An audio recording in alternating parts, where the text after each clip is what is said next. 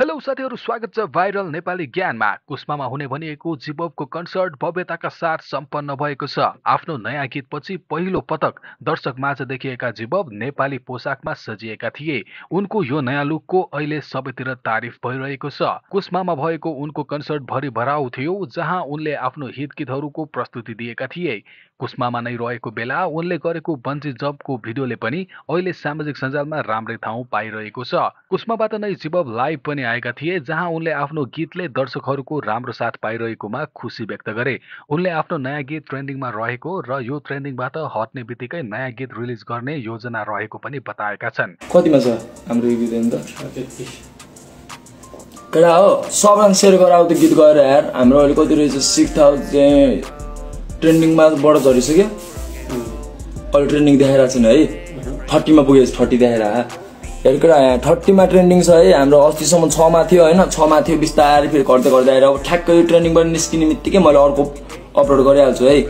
Ones tens hundred thousand ten thousand lakh six lakh thirty three thousand two hundred fifty seven आम अल यो हो क्या यिनीहरू हो क्या? यतिकै छ लाखजना भनेको रियल फ्यानहरू हो क्या? किनभने हाम्रो त नयाँ च्यानलबाट हाल्यो नि त नयाँ च्यानल खोलेर हालेको हो। बुझेन? हामी त कहाँ हाने हामीले बुस्ट पनि गर्दैन फेरि। आत्माले मान्दैन क्या हाम्रो बुस्ट गर्न। त्यो चाहिँ रियल फ्यान हो म खुसी छु।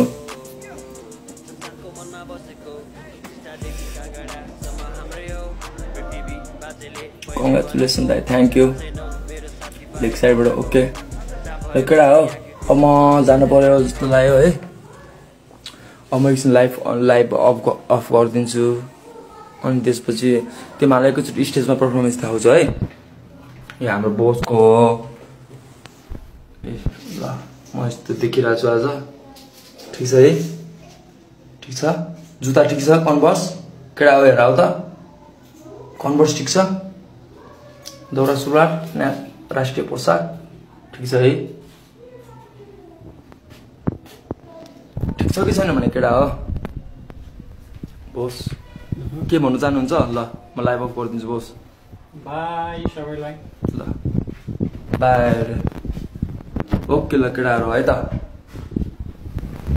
के तपाईँ जिबबको नयाँ गीतको लागि उत्साहित हुनुहुन्छ?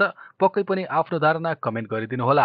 हस् त यो भिडियोको लागि यति नै। भिडियोको जानकारी मन परेमा लाइक सेयर र कमेन्ट अवश्य गरिदिनुहोला। साथै यस्तै यस्तै भाइरल अपडेटका लागि हाम्रो च्यानल सब्सक्राइब गर्न नछुट्याउनुहोला। यतिन्जेल हामीलाई साथ दिनुभएकोमा यहाँलाई धन्यवाद छ।